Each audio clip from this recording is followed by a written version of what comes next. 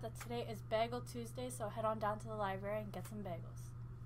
Good morning! In basketball news, the boys played a tough game last night to the O'Gorman Knights, taking an L.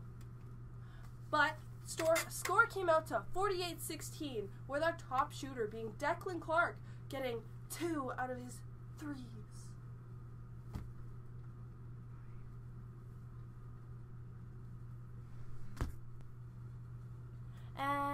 And here's our video for today.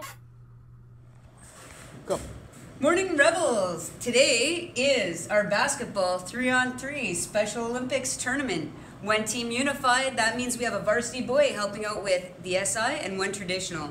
Best of luck, teams. We'll post the results tomorrow.